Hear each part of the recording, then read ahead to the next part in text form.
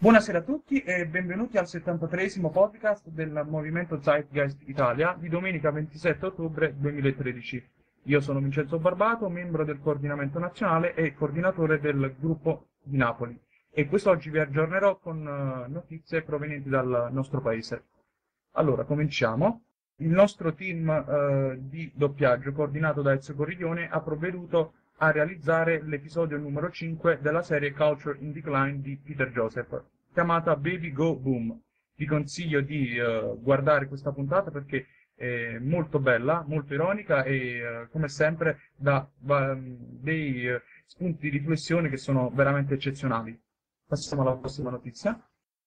Ecco, il ventesimo Zeit Spot, realizzato sempre grazie al nostro GDL grafica e al nostro GDL doppiaggio, in questo caso, in questo ventesimo episodio, si analizza l'accesso universale ai beni e servizi eh, con la testimonianza e la partecipazione di Federico Pistono eh, in, in, un evento di, datato tre anni fa di, eh, di, Bologna, in cui si tiene il primo e, eh, ed è veramente molto bello perché eh, nonostante sia vecchio di tre anni è comunque molto attuale rispetto alle tematiche che portiamo avanti e soprattutto eh, dà come sempre tantissimi spunti di riflessione e che si sono poi concretizzati e, e, vi faremo sapere anche il perché durante eh, queste settimane sul, sul, nostro blog, quindi vi consiglio di seguirci per seguire tutti gli sviluppi di questo progetto inerente all'accesso eh, alle, agli strumenti, cultura e tutto ciò che secondo noi debba essere diffuso gratuitamente all'umanità per il progresso e per lo sviluppo vero, insomma.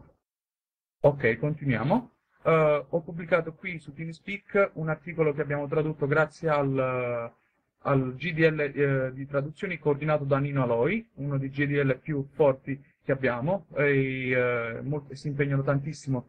E eh, abbiamo provveduto a pubblicare, per, grazie all'impegno di Sara, uh, di Sara, che è una nuova arrivata, questo articolo che parla di una cosa che è abbastanza logica, uh, abbastanza logica, ma come sempre uh, dobbiamo portare i numeri statistici per, per, comprovare quello che è logico e per non cadere nei soliti miti uh, o essere chiamati come al solito pazzi o utopici.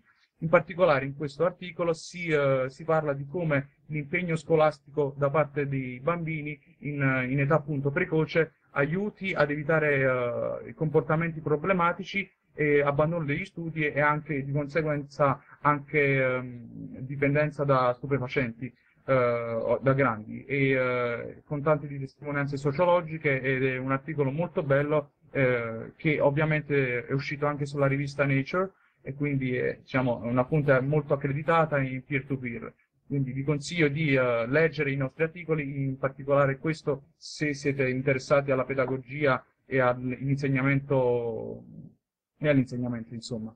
Passiamo col prossimo articolo. Altro articolo tradotto dal nostro GDL doppiaggio, eh, grazie sempre a Sara, e eh, questo si intitola Formazione online, il laboratorio virtuale.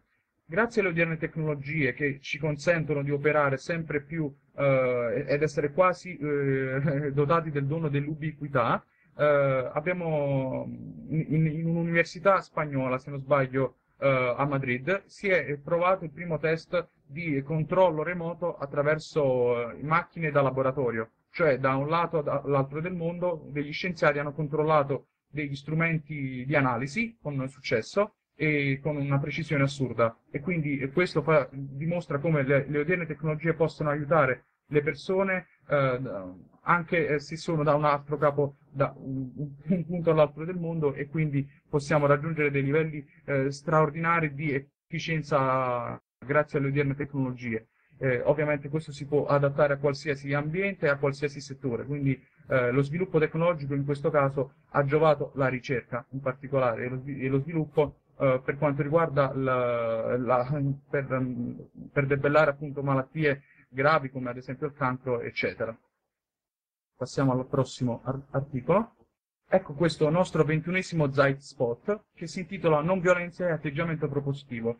Questo spezzone è tratto dall'incontro che facemmo tempo fa con uh, il Meetup Europa, uh, coordinato da Mike e da Ma- Massimiliano Gambardella. Uh, in questo spezzone si, si, può appunto osservare la nostra Giovanna che fa un'osservazione molto, molto acuta su come la non violenza uh, verbale possa, possa, appunto giovare un tipo di comunicazione che poi si traduce in uh, successi uh, pratici e soprattutto non si, non si, va incontro a risse che tutti quanti conosciamo attraverso i nostri talk show in televisione e soprattutto avere un atteggiamento propositivo eh, la solita storia che comunque sentiamo anche dal Movimento 5 Stelle ed è giustissimo, cioè poca protesta e più proposta. Quindi queste sono argomentazioni che noi portiamo sempre avanti anche nel nostro movimento e Giovanna con la sua acuta osservazione ha cercato di comunicare un concetto che è ben poco applicato soprattutto nei media mainstream italiani. Quindi eh, ringraziamo Giovanna per questa sua osservazione e vi consiglio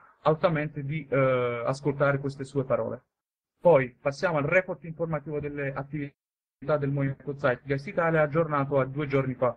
Eh, non so se la tutta la comunità è aggiornata, ma al di là dei nostri podcast che possono essere più o meno lunghi, abbiamo deciso di adottare un'altra strategia comunicativa per facilitare eh, la comprensione e eh, per facilitare agli utenti eh, nel seguire le nostre attività eh, in tempo reale. Quindi Uh, anche se abbiamo il podcast, abbiamo ideato un altro strumento alternativo che è una reportistica scritta che noi aggiorniamo attraverso Google Doc in tempo reale, quindi le persone possono uh, notare in qualunque momento della giornata, in differita, anche senza partecipare direttamente ai podcast, uh, tutti i nostri progetti, eh, con tanto di aggiornamenti progetto per progetto e soprattutto l'aggiornamento del documento in generale. E quindi eh, stiamo cercando di facilitare anche la comprensione dei, dei, nostri progetti a tutti coloro che ci seguono ma che magari non hanno molto tempo per stare dietro ai podcast e quindi eh, attraverso questo strumento cerchiamo eh, di essere più efficienti. Spero vi piaccia appunto. E infine abbiamo la, no la notizia del, eh, della nostra uh, raccolta uh, crowdfunding, una raccolta di fondi attraverso la rete per rifinanziare le nostre stampanti 3D da destinare ai nostri gruppi di Milano e Napoli e per aggiornare le nostre stampanti o per costruirne addirittura di nuove da devolvere, da donare oppure per, semplicemente per un uso didattico, poi dipenderà da caso a caso insomma. Uh, adesso uh, che l'abbiamo lanciata da circa 13 giorni abbiamo raccimolato circa il 22% della somma totale, abbiamo chiesto 1000 euro, uh, 1000 euro e per chi sa quanto costano le stampanti 3D sa benissimo che una sola stampante può arrivare a costare circa 700 euro. Noi invece con 1000 euro ne abbiamo provveduto a, a, a costruirne due e abbiamo dovuto aumentare un pochettino il prezzo e uh, abbiamo appunto alzato il prezzo perché la tassazione su PayPal uh, è, è, altissima. E quindi uh, tutto il resto per accumulare la nostra cifra di 800 euro speriamo in caso di successo di arrivarci. E nonostante avessimo scelto una delle piattaforme più, più formidabili che c'è appunto su internet che è Capital in quanto non prende tasse a differenza di tutte le big crowdfunding platform eh, e uh, soprattutto è molto intuitiva. E, uh, quindi eh, innanzitutto ehm, faccio un appello, l'ennesimo appello a tutti gli utenti che ci ascoltano, che se hanno intenzione di, di, di donare e quindi di far sviluppare i nostri progetti sono ovviamente ben accetti e ovviamente riceverete delle ricompense in formato virtuale e soprattutto eh, per una donazione di 200 euro noi provvediamo a fornire i kit per costruirsi una stampante nelle, in prossimità delle regioni di, eh, di Campania e Lombardia. Abbiamo scelto questa strategia che può essere, eh, può essere da un, un punto lesivo, ehm, può ledere appunto la nostra stessa iniziativa perché eh, essendo un movimento che tiene appunto alla sostenibilità ambientale ci sembrava un'incoerenza appunto eh, spedire in tutto il mondo dei semplici pezzi di plastica che possono essere reperiti anche nella propria nazione in quanto le stampanti 3D si stanno sviluppando sempre di più e chiunque eh, più o meno può reperire i pezzi plastici anche nella propria nazione. Quindi per una questione di coerenza abbiamo scelto questa tipologia di, di, di strategia eh, quindi vi consiglio di diffondere la, di eh, devolvere almeno 5 euro per la nostra campagna e di diffonderla soprattutto per realizzare i nostri progetti in quanto movimento non profit, non attingiamo da nessun tipo di fondo, ci sta bene così e continueremo così. Eh, le, eh, contiamo semplicemente sul contributo delle persone in generale. E di fatti questo lo ha eh, anche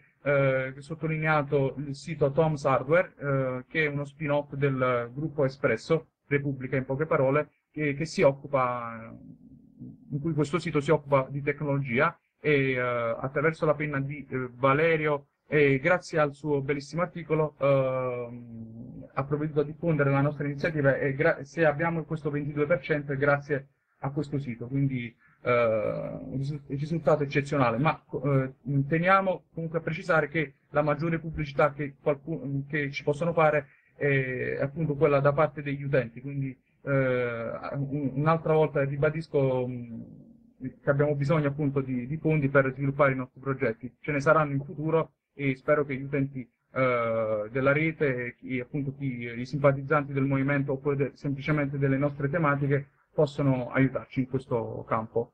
Eh, vi ringrazio e io non ho, mh, non ho novità, eh, non ho più novità nazionali da proporvi, da mh, diffondere, quindi passerei la parola ai GDL. Chi vuole cominciare per primo? Dato che l'hai, che l'hai già nominato, andrei con il GDL traduzioni. Perfetto. Eh, sono Nino Noi, coordino il GDL traduzioni e come ha detto Vincenzo abbiamo già tradotto un po' di articoli, molti sono stati già pubblicati. Dall'in... Sara e... Sara e io abbiamo già tradotto un po' di articoli, sia sulle stampanti 3D sia su altre, altre notizie interessanti che avevamo in archivio del 2013. E, e abbiamo anche sottotitolato l'episodio 6 di Calton in Decline che è già passato al doppiaggio e di cui si sta occupando il GDL doppiaggio. Inoltre abbiamo anche ripreso col Symposium, già, abbiamo già trascritto quasi tutti i video e iniziamo le traduzioni di, di metavideo, quindi dovremmo anche riuscire ad arrivare finalmente in pari col Symposium, il cui progetto è stato interrotto per un po' di tempo. Il GDL è ripartito, siamo in 5, però lavoriamo a pieno ritmo, quindi speriamo di continuare così. Per adesso articoli e il prossimo progetto è la revisione della chapter guide. Perfetto, grazie mille. Prego. Vai vai Masma. Uh, vabbè, partiamo col GDL grafica.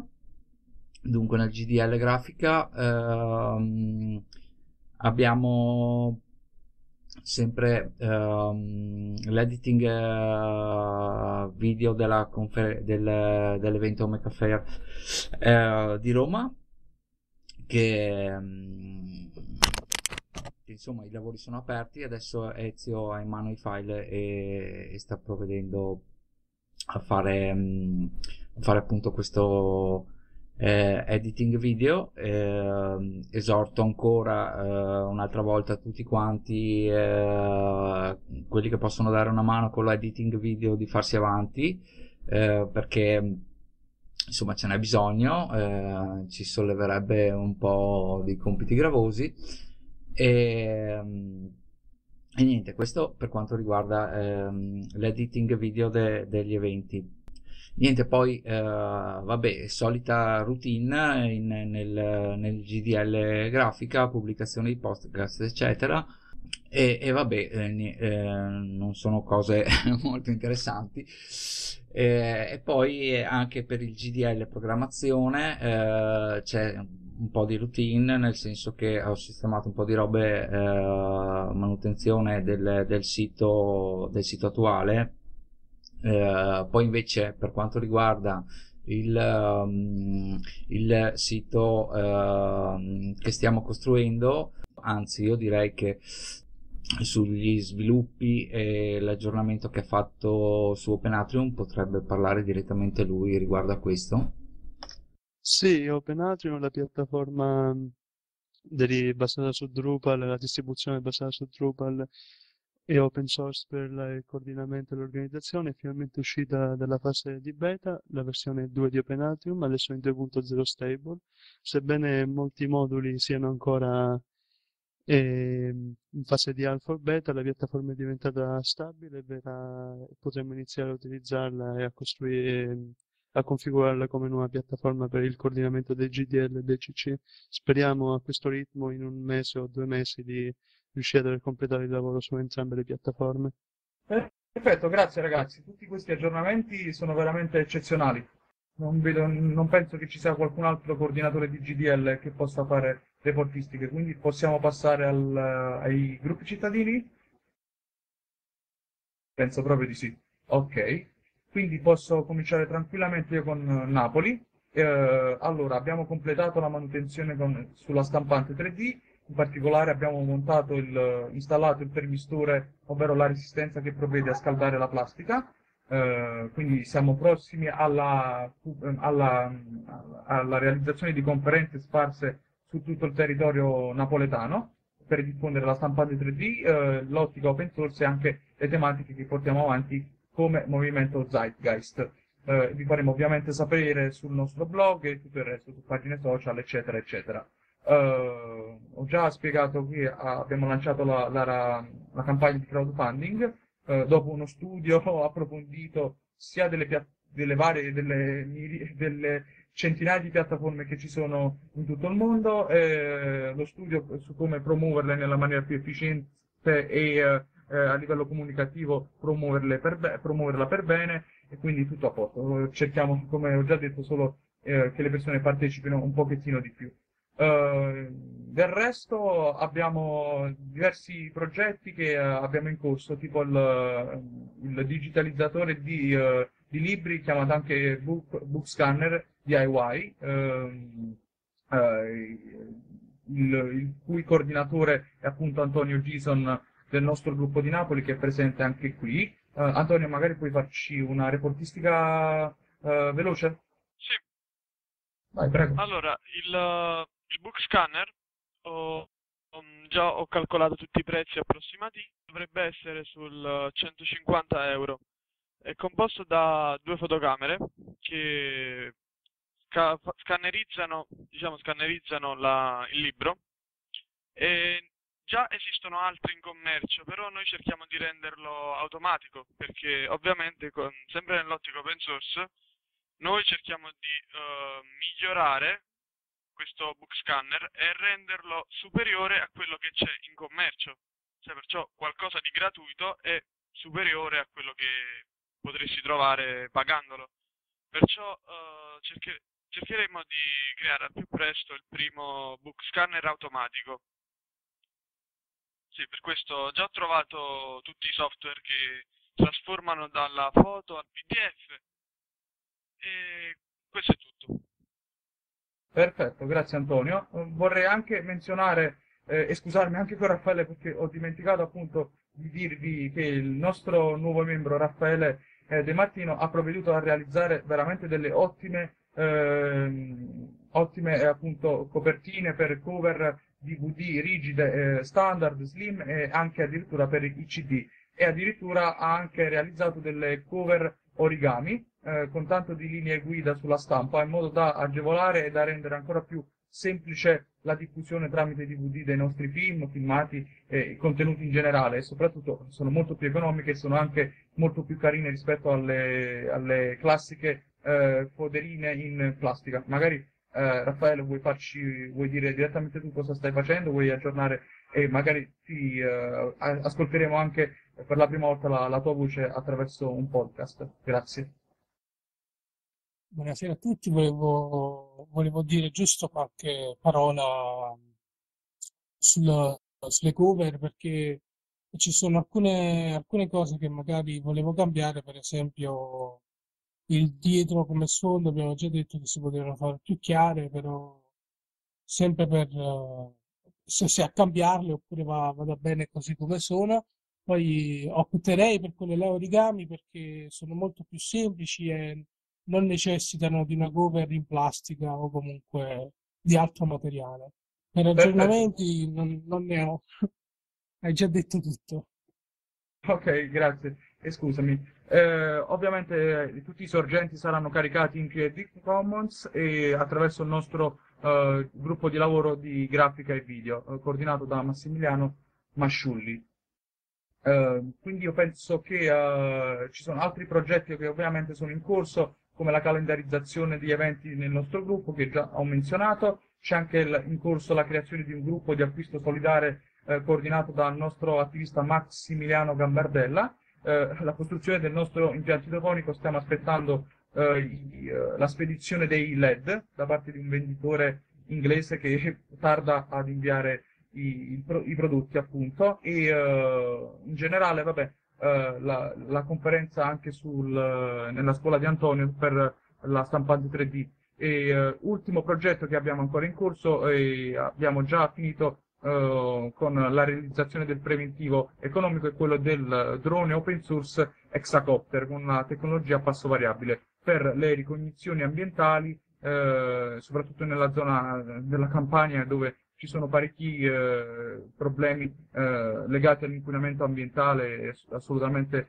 allo sversamento di rifiuti o roghi eh, di pneumatici, eccetera, eccetera. Quindi ci sono parecchie situazioni che questo, eh, questo drone open source potrebbe aiutare a, a sventare e uh, attraverso le forze dell'ordine e uh, ovviamente un drone in open source qualitativo è assolutamente molto più economico rispetto a quelli che si trovano nel, in vendita a prezzi veramente esagerati e noi cercheremo di renderlo quanto più efficiente e qualitativo possibile attraverso la tecnologia Arduino e ovviamente vi faremo sapere tutto. Quindi per adesso eh, il gruppo napoletano non ha altre novità in particolare. Quindi eh, siccome vedo che c'è Francesco Manghi, che non lo sentivo, non lo sentivamo da parecchio, eh, vorrei domandare appunto se avete delle novità lì a Reggio.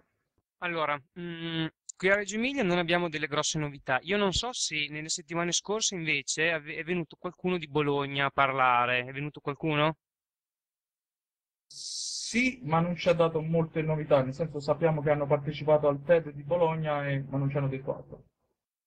Eh, mm, no, eh, infatti più o meno è stato quello, cioè abbiamo partecipato al TED di Bologna, ci siamo trovati eh, in questa serata qui, eh, tutta la mattinata e, mm, e, nel pomeriggio, ed è stata diciamo un'occasione innanzitutto per conoscerci ehm, tra gente che comunque abita abbastanza nelle vicinanze, nel senso che eh, da Reggio Emilia a Bologna sono mezz'oretta di treno, insomma. E, ehm, di altre novità non ci sono state. Io segnalo che si è svolto, anche se chiaramente non riguarda il movimento Zeitgeist, ma comunque alcuni progetti. Si, si, è svolto Linux Day, quindi eh, tutto quello che riguarda il discorso dell'open source, che è stato fatto qui in giro, ehm, tramite appunto altri, altri altri mezzi, però insomma mm, l'organizzazione del, del, mm, del, territorio qui a Reggio ancora non, non abbiamo fatto nulla in, questi, in questo periodo. Ok, grazie Francesco. Mm, c'è qualcun altro? Uh, non credo, ragazzi. Se... Sì. Ah, ok, perfetto. Vai, Gio. Sì, allora io avrei, io sono Giovanna Marino, eh, coordinatrice del movimento, e del capitolo italiano, eh, co-coordinatrice. E, eh, ho un paio di annunci da fare da, per, per quanto riguarda le notizie internazionali, e cioè che eh, mercoledì ci sarà ehm, il meeting internazionale alle 24 ore italiane, per cui chi, vuole, chi volesse partecipare è libero di venire ad ascoltare. E l'altra notizia è che il 15 novembre a Londra ci sarà Peter Joseph che eh, sarà disponibile a rispondere a delle domande per un paio d'ore, eh, due, due, insomma, circa. E, ehm, questo evento è stato possibile grazie alla, eh, alla, ehm, al contributo di eh, Tom Williams che ha organizzato l'evento. E questo è tutto, grazie. Ok ragazzi, ci sono altre novità? Ok, allora se non ci sono altre novità chiuderei il podcast e passerei alla discussione libera e voglio ricordare che ogni due domeniche alle ore 21.30 ci sarà un incontro via TeamSpeak eh, da parte del Mondo Zeitgeist Italia per tutti i volontari che vogliono darsi da fare e per aggiornare la comunità sugli sviluppi nazionali e internazionali.